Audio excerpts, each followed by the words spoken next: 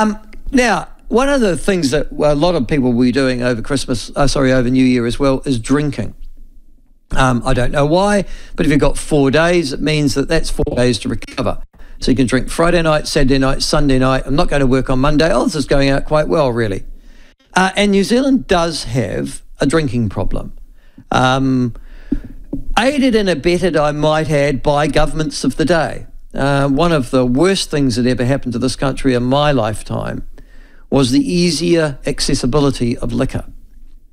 Um, this is not to say that my parents and grandparents didn't drink like fish, but they drank lesser strength alcohol, particularly when it came to beer. Draft beer was 3%.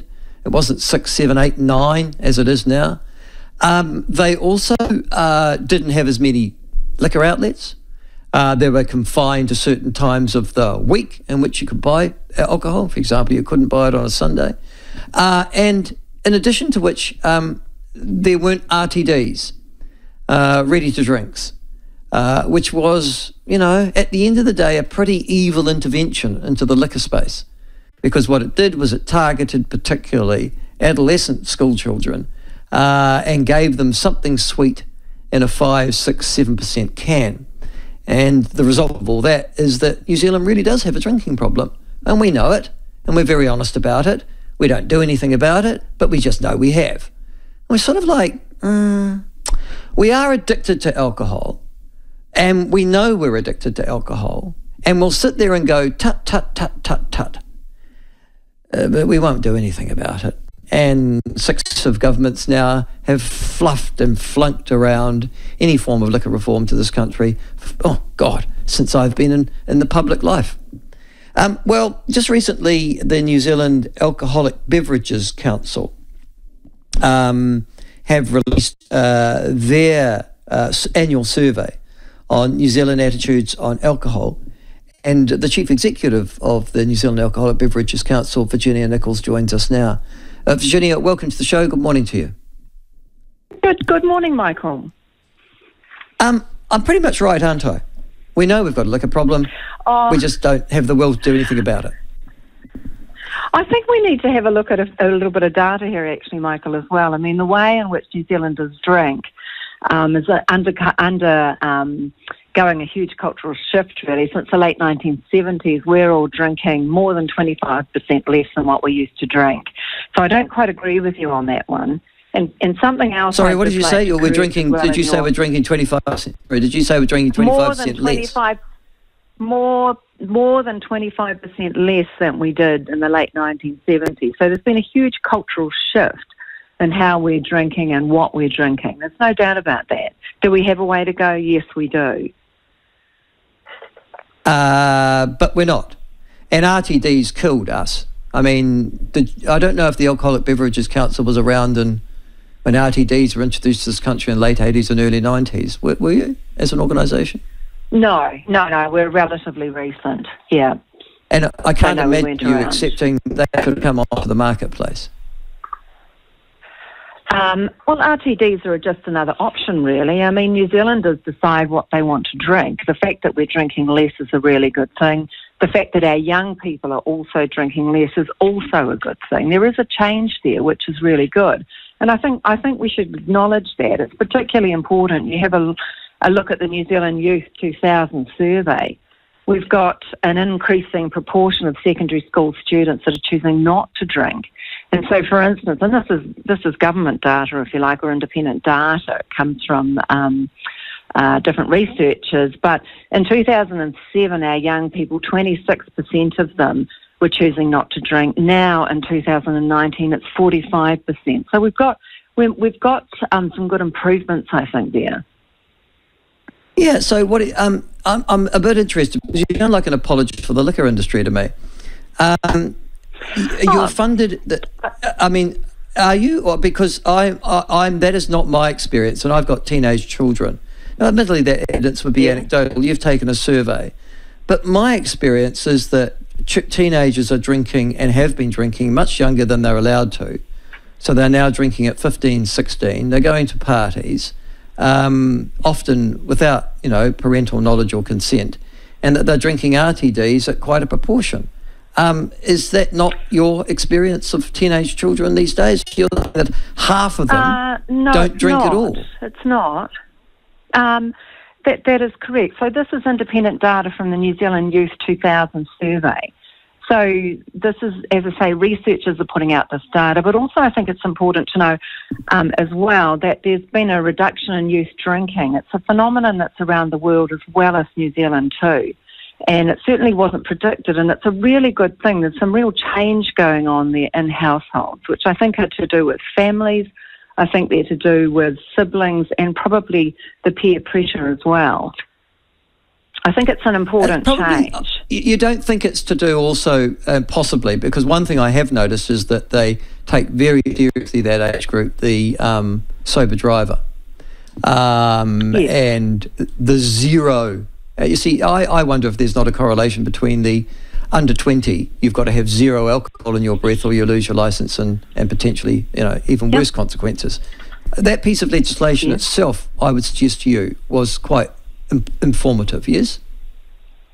Yeah, I think that's really good legislation, and I think that's a really good thing that particularly new and young drivers, if you like, um, shouldn't have alcohol in their system at all. I think that's a really important thing.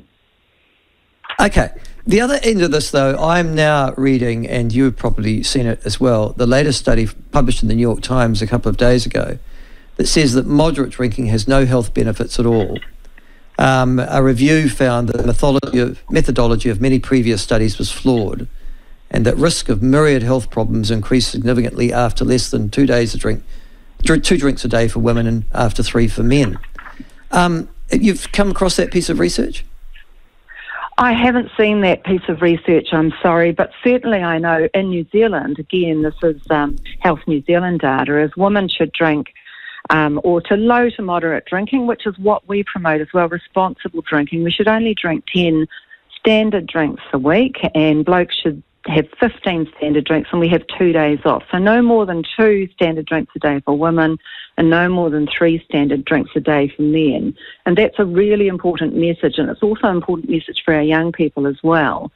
And as you as you've probably seen, the, the industry does support a program in schools. Really, it's it's the Tomorrow Project, which is a social change charity. It's governed by Spirits NZ, wine growers, and also the Brewers Association. And it's about SMASH, which is a theatre and education program that includes an interactive workshop for 12 and 13 year olds where they can learn all about all sorts of important things. About like what is a standard drink, counting those drinks and talking about safe drinking, binge drinking, you know, peer pressure, you know, good decision making, and also too the availability of the low and no alcohol products as well, which are really good out there. And I think they're also changing the way the whole lot of us are drinking too. Well, um, the, the other key part about this um, New York Times published study was that they suggested that there are no health benefits to drinking alcohol.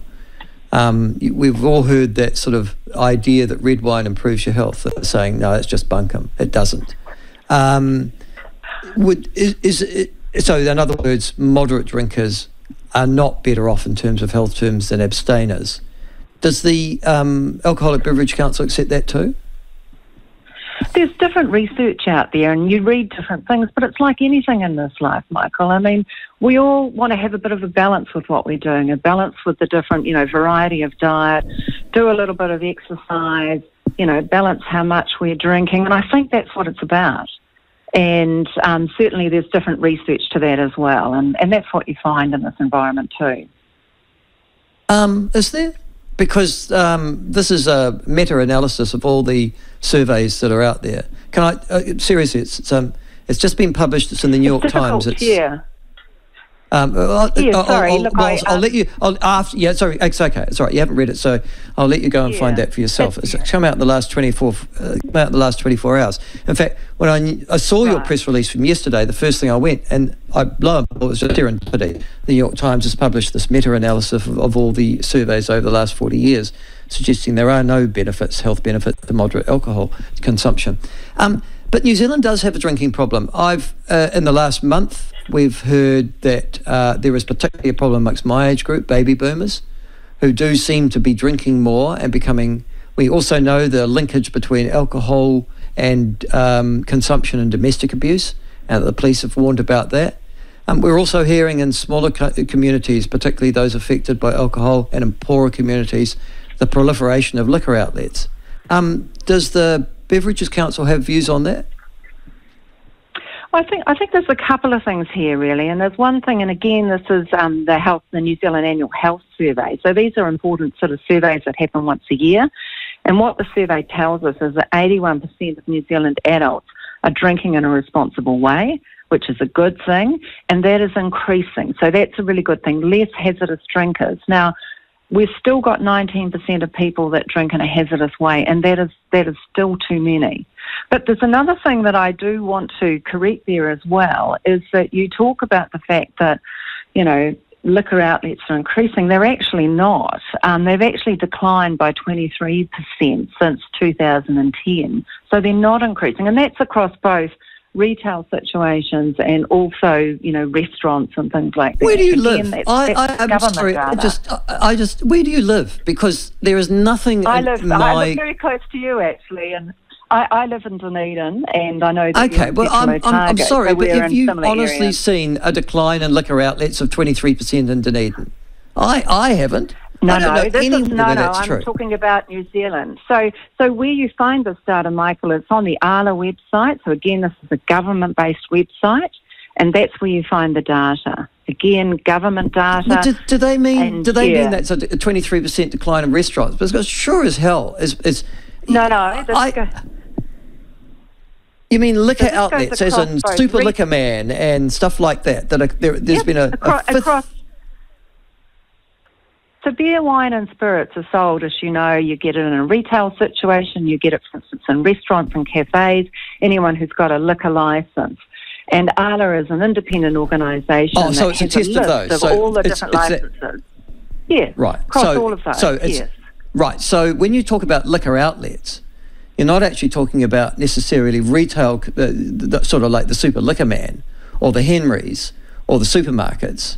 Um, you're talking about also cafes and restaurants and bars, things yes. like that. When you talk about yes, liquor wherever oh, wherever okay. we can right. we, wherever we can buy um, beer, wine, and spirits in New Zealand of retailers, okay. it's about eight percent of all of those. Like pubs and taverns and things like that. Yes, but that, that, that, uh, yes, but you're, you're drawing a bow then, aren't you?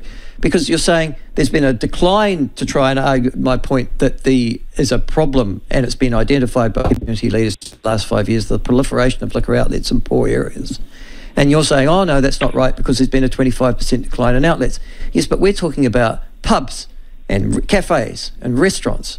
We're not talking about those defined retail liquor outlets like the Super Liquor Mans and the low cost um, that are aimed at poor communities like South Dunedin and your Nick Woods or um, South Auckland. Um, those those those but, are the ones that community even, leaders have problems.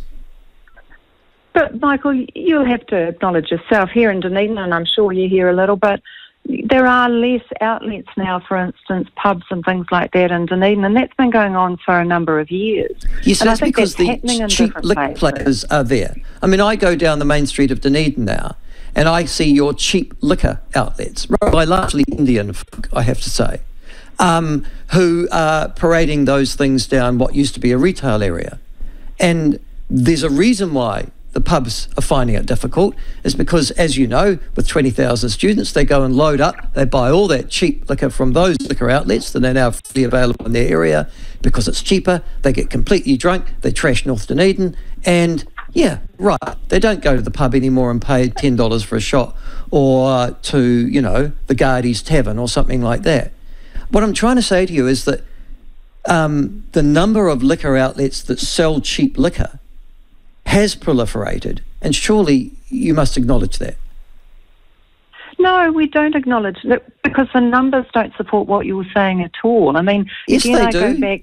We are all of us as a community. Again, government funds, government numbers. More than 25% of us across New Zealand are drinking considerably less than when we did in the late 70s. This is a cultural change. We know that the young people are drinking considerably less than what they did. Again, these are independent figures. These are good things. Is it enough? No, it's not. but it's a it's a beginning, and that's where some of the educational programs are really really important in schools to actually talk to students and, and give them all the facts on how they can handle this because that's really really important that we do that we do that as a family and things as well and we openly talk about it but there is nothing wrong with going and enjoying you know a very nice something that you enjoy a craft beer or a nice glass of wine whatever you enjoy and having a glass of wine on a day nothing wrong with that um, and what we found is, is the poll in Curia Market Research um, has found that 56% of us as well in the last year, we, we actually had a, a low alcohol or a no alcohol beverage. These are really good changes that are happening out there. Again, we still yeah, think we need yeah. to do more, but you know, you, these, you, you actually are, you really come from a city, things. yeah, but you come from a city, Virginia, where um, there wouldn't be a month go by where there isn't alcohol harm demonstrated magnificently on the front page of your newspaper, particularly with your university students and your precious University of Otago. Now, come on. Yes, yeah. You cannot tell me we're, that their behaviour has improved since the 1970s. I, I definitely think the behaviour of students has improved. I think there are different students coming through. There are a lot more students coming through too that actually don't drink alcohol. These are all really good things. I mean, we're very yes, but proud it's the ones that do. Here. But it's the ones that do. Yeah, oh, listen, and falsely so because your university's dropping like a, a brick in terms of international rankings. But and one of the reasons for that is because Otago University has acquired such a reputation for its drinking culture over the last 20, 30 years, and still has that drinking culture, Virginia, that it's it's actively dissuading students from going. And students now, if they I, want, I think, yeah, yeah, I think you'll find that the University of Otago has very good international rankings, and I think it, there are also changes going on here too with the students that are coming. Eighty percent of our students, as you probably know, come from out of our area, and the behaviours and things. Yes, there are issues, but equally too, there are some incredible outputs as a result of these students coming to the University of Otago. It's um, it's a very good university, along to be fair with the other seven universities in New Zealand. Um, seriously, you should go and see some stats. Otago University has been declining in international reputation over the last dec- uh, last generation. We've only got one university in the top I, I don't. I don't world, actually. Um, I and that's don't Auckland. agree with that. I. Well, that's right. Well, that's so you'll only listen to those University. stats that you the want. University of. O- I don't agree with you, Michael. University of Otago has become a really bad university. It's been declining in international levels. Australia's got eight universities in the top 100 in the world. We don't have one. We've only got one in the top 200, and that's Auckland. Now, go and look at the Times There Literary are- Supplements. Go and look at any international university rankings you want to see. And I would suggest to you that one of those reasons is because the drinking culture of Otago University is, and it's known throughout, unfortunately, New Zealand for it the Hyde Street parties, the, the St Patrick's Day shenanigans, the orientation excesses. I mean, and you're trying to tell me that there's responsible drinking, and there's been attitude changes. These are meant to be our best and brightest students in New Zealand, and Otago University each year portrays the effects of alcohol harm and overindulgence. It doesn't seem to be working But to me. there are also, but Michael, there are also changes that are happening um, in in society as a whole, and we're seeing that locally here at the University of Otago, and we're pretty proud of that. So, do we have a way to go? Yes, we do. Um, But I think we do need to acknowledge as well, with independent figures as well, that there is a change. But what can we do? What we need to be looking at here and saying is, what more can we do? How can we improve this data even a little bit further? Um, is there any country that you look at and go, they've got the model? Not really. I mean, we in the OECD, um, you know, we're better than the average, if you like, in the OECD. Everybody has different issues and things, but equally, there's nothing wrong, you know, with enjoying, as I say, a, an, a beer or a, or a glass of wine. There- There's actually nothing wrong with it. It's just about the fact that we want to get more responsible drinkers. Um, as I say, 81% of us, or nearly four, more than four out of five of us, are drinking in a responsible way. We want to reduce the hazardous drinking, and part of that is just top of the cliff stuff more, we need to do more in schools, more education, more discussion about this as a society, and we also need more programs to help people that are struggling with alcohol as well. Can I just quote to you um, some statistics from Alcohol Org NZ? Um, I think they've been set up by the government. They look at the same stats, no doubt, that you do. And they agree with you that alcohol consumption for beer has certainly decreased. But over the last 10 years, they suggest for spirits, there's been a 35% increase, for spirit based drinks, 22%, and wine, 7%. Consume 10.7 litres of pure alcohol per person, and this is similar to Australia, lower than the UK, but higher than the United States and Canada. Are you suggesting that those stats aren't valid? What, what I'm suggesting is that we all, I mean, we're all we're all uh, many people, many we're all adults here, and we get to pick what we actually want to drink. There's nothing wrong with that. Again, if we want to have, you know, a, a spirit or something like that, or if if we want to have a nice cocktail or a, a craft beer, I, I don't see what's wrong with that. What's important here is that we actually look at how many standard drinks that we're having. And that's the important thing. And we actually count them and say, right, we're at two standard drinks if we're a woman, we're at three standard drinks if we're a man, and we need to stop. Because that, that's what's really important. Again, moderation and balance, I think, is important across our entire um, lifestyle. All right. Okay, thank you very much for joining us, Victoria, uh, okay. Virginia. Thank that is you, uh, Virginia okay. Nicholls, who's the Chief Executive Officer of the Alcoholic Beverages Council.